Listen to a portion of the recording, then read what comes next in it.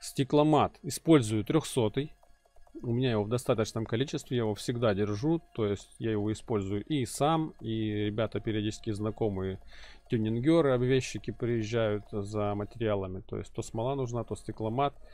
А, также держу всегда в наличии акфикс клей, потому что тоже он в хозяйстве очень хорошая вещь и нужен как мне, так и родней, близким и знакомым. Периодически кто-то приезжает, потому что у нас никаких Леруа Мерленов нету, в ближайших 120 километрах магазин единственный, где этими вещами торгуют, поэтому мы тут своими силами спасаемся.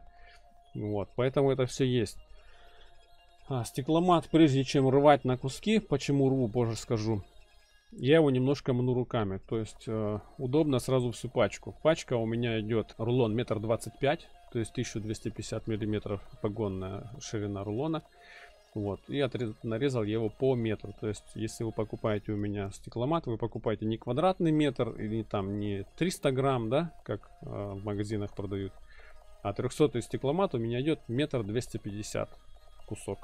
То есть, 1 метр 250 сантиметров квадратных. Там плюс-минус, потому что немножко там рука дрогнула, там где-то может быть даже метр триста купите. Потому что все это дел, делается мной лично на столе. Обычно я за день нарезаю 100 метров. В общем, тот еще мазохизм. Выкладывается сразу стекломатом. Стекломат, естественно, уже промятый. Он более такой мягкий. Немножко уже волокна разошлись. Почему рву? А, когда рвешь стекломат, у него волокна примерно 6 сантиметров длиной. Вот все, что слеплено, это примерно такие вот волокна. Такая волосинка, стекловолокно. Вот, они склеены определенным составом, который смола размягчает. Если вы не помяли рукой его, смола его э, размягчает, то есть придает ему такую пластичность немножко дольше. Это потеря времени, у вас смола может затвердеть, пока вы все это мажете, потому что вам нужно притрамбовать, чтобы у вас вышел воздух, чтобы ваш стекломат принял форму того изделия, которое вы хотите получить. Ну и еще один момент, когда вы рвете руками, не режете, то есть он уже нарезан, у него и так еще уже есть несколько обрезанных граней, это хуже. Когда вы режете, например, на маленькие кусочки, у вас от резки и от дальнейшего использования разлетаются вот такие вот частички. Они могут быть еще меньше, еще меньше, еще меньше. Где-то вы край прямо сам отрезали, он может быть миллиметр. Это все потом втыкается в одежду, в обувь, в окружающие вещи и так далее. То есть чем меньше частица, тем и легче зацепиться где-то. Когда вы рвете руками стекломат, у вас отлетают от него 6, мм, 6 сантиметровые вот такие волокна, стекловолокно их видно. То есть ты просто взял руку, там, она у тебя в смоле, ты вот так ляп-ляп-ляп-ляп, все это собрал, перчатку вывернул, выкинул. Ну и в крайнем случае видно, где пропылесосить. Мелочь, ее практически не видно. Я очень много одежды выкинул просто-напросто, потому что если вы работали со стекломатом в футболке э, и резали его ножом, скорее всего, вы одеть эту футболку уже не сможете на следующий день, потому что там волокно как-то так встает, очень интересно, оно начинает вам прям не то что чесаться, а просто колоть вам кожу очень неприятно. Особенно где большие куски нужны, руками просто рвете и все. Ну там квадраты разные. Какой вам по душе, в принципе, чем больше перехлестов, тем лучше. То есть волокно на волокно заходит, получается такая сло слоистая структура. Как выливать смолу? Стоит ли выливать целиком, да, всю банку сразу? В принципе, можно выливать, если вы понимаете, что вы делаете. А, могут быть такие моменты, что вы просто выльете, у вас здесь будет толстый слой, а куда-то в другое место не хватит. То есть где-то будет сухо, а где-то будет наоборот много жидкости. Поэтому, если вы чувствуете, что успеваете вымазывать, то есть уже небольшой опыт есть, то мажьте все-таки кисточкой. По кисточке еще могу сказать. Чтобы не расходовать кисточки, купите просто ацетона. А, вы одной кисточкой сделаете полностью весь проект. Вот такая кисточка, если мне не, изменяет память, стоит около 50 рублей в магазине. Хорошая кисточка, из которой не лезет ворса, с удобной ручкой, которую, если нужно, можно укоротить. Вот эта кисточка, я не знаю, сколько уже у меня. Я в итоге ее все-таки выкинул, я прозевал там какой-то момент. Но после того, как вы используете ее, поработали, если вы понимаете, что вы вот сейчас бросите кисточку на произвол судьбы, вы на сегодня, например, закончили и начнете там через час, может быть, там через полчаса, через 2-3 дня, отмойте ее просто в стакан в какой-то налейте ацетона, отмойте ее там, Ацетон можно переливать в банку, в другую, в которой он будет стоять, а на дне осаждаться будет смола застывать. И все равно будет у вас ацетон, который потом можно будет мыть инструменты, опять кисточки другие. В общем, главное, чтобы емкость была закрыта. Я не знаю, может быть спутано немножко объясняю, надеюсь всем будет понятна эта информация. То есть вы кисточку помыли, она прям сухая, можно какой-то тряпочкой еще вытереть. Положил, у нее чистая ворса. Утром приходишь, берешь ее, ворса немножко жестковатая, но не слипшаяся. То есть в ней нет смолы. На ней там может быть какой-то тонкий-тонкий слой полиэфира и все. Вы ее просто там можете макнуть в ацетон еще разок, она станет абсолютно мягкая. Либо можете прям сразу использовать. Это для вот таких кисточки, э, кисточек, которые имеют волосяную вот эту ворсу. Или лесочную, или волосяную, там абсолютно не важно. Она хоть леска, хоть вот такая ворса, типа шерстяной, она всегда слипнется, если вы бросите ее со смолой. То есть, если хотите сэкономить на кисточках, просто ацетон. Must have. Если хотите прям глобально сэкономить, идете в ближайший, я не знаю, магнит, какой-то гипермаркет, в том же Леруа, мне кажется, может даже быть где продают посуду для кухни. Там, где есть силиконовые формы, где-то доски разделочные и так далее. И ищите кисточку силиконовую. Как она выглядит, думаю, объяснять не надо. У нее пластиковая ручка, и на эту пластиковую ручку одета силиконовая кисточка, у которой такие, как у кальмара, щупальцы торчат, где-то миллиметр толщиной.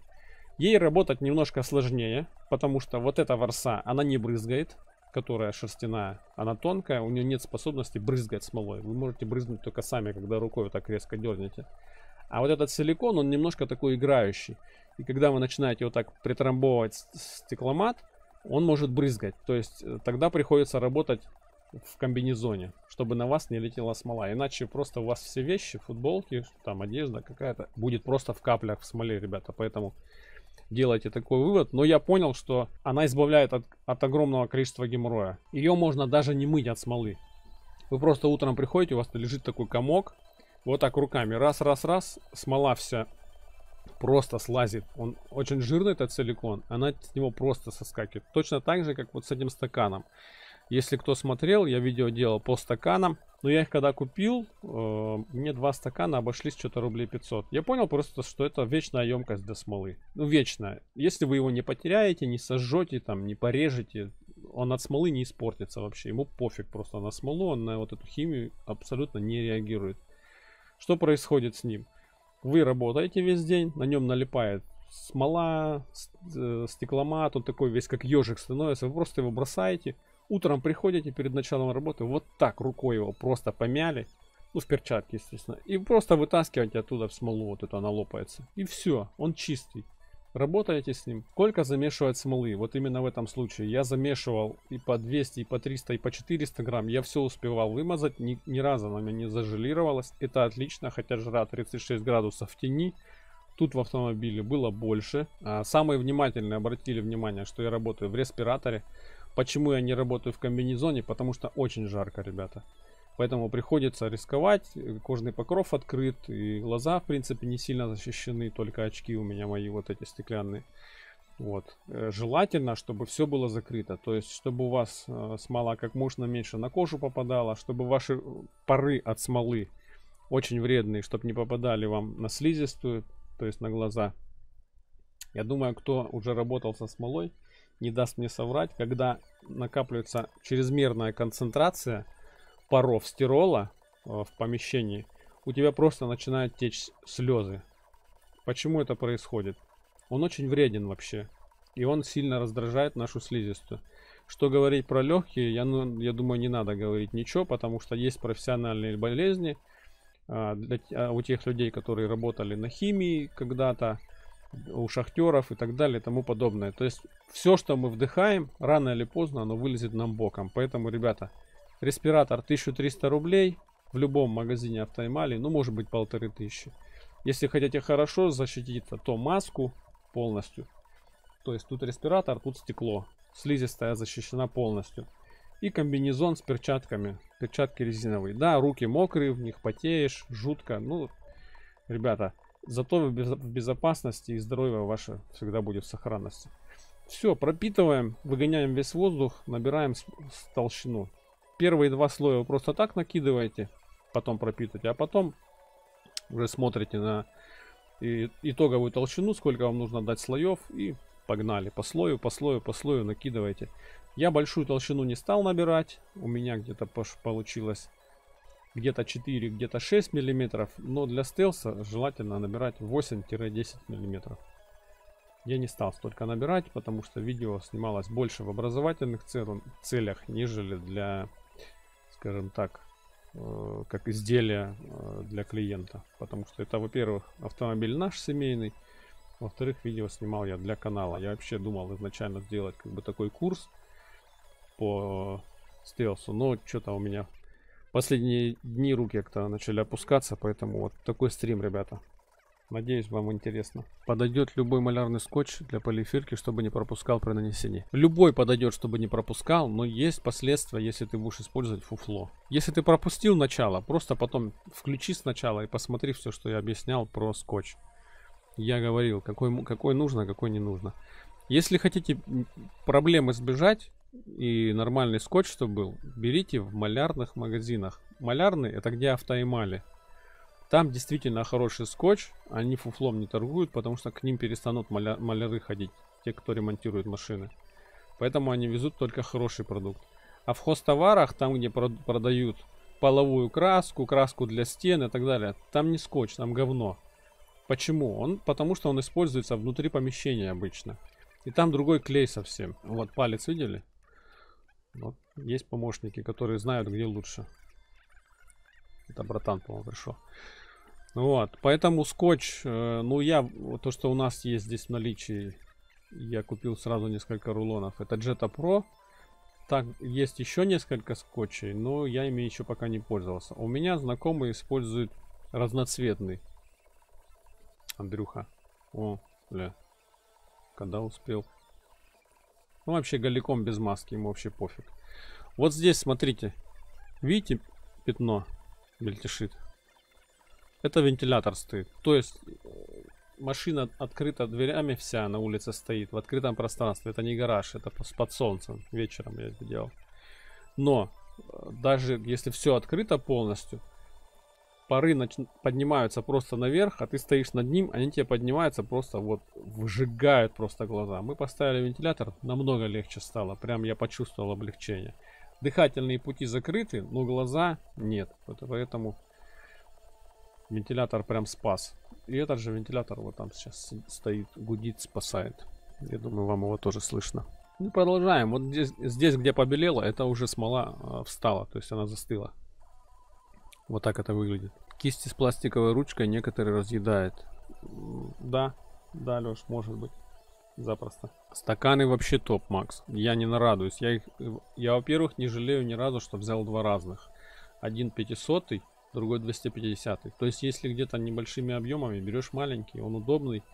Его где-то приткнуть можно и засунуть там в кольцо в проставочное. Например, ты отсюда засунул от, от, от, стакан, а с, этой, с этого кольца, например, руки суешь в стакан и пропитываешь. А большой больше вот для стелсов, для каких-то объемных работ, для первой пропитки, например, когда э, лайкер много-много в себя впитывает смолы. Это очень классно вообще. Вот она уже пропитана. Я думаю, видно форму. Вот этот пиптик посередине он крепит непосредственно стелс. Я уже его, ну, как вы видели, просверлил, прикрепил. Держит офигенно. Вот, я думаю, еще вот здесь где-нибудь по, по краям шумки еще наклеить поролоновой какой-нибудь. Я думаю, вы видите, да, как он сложно достается. При том условии, что у него такой нормальный конус. Но тут затык даже не в этом, а затык вот здесь. Вот здесь получилась ступенька. То есть, чтобы его легко доставать, эта ступенька не должна упираться нужно спилить вот так. Но прежде, прежде чем это все спилить, его нужно сначала достать. А чтобы достать, мешает вот это и мешает вот эта штука. То есть, если вы хотите безболезненно доставать э, такую чашу, вот эту штуку спилить вам придется. Ну и как-то потом крепить по-другому. Я решил автомобиль оставить в стоке, поэтому вот такой геморрой поимел. Для этого как бы и снимаю, чтобы делиться опытом. Видите, да, он там упирается в углу. А так отстал, в принципе, все, уже болтается. Какая-то часть скотча остается на кузове, какая-то часть остается на каркасе. Вот такая чашка получилась. А тут буквально, ну, я не знаю сколько, процентов 70 скотча осталось на слепке. Тут вот немножко смолы. Видите, да, она протекает все-таки через скотч. Поэтому, если не хотите, чтобы она протекала, либо не надо несколько слоев э, клеить, либо очень хорошо притрамбовывать, именно чтобы он не в натяг был.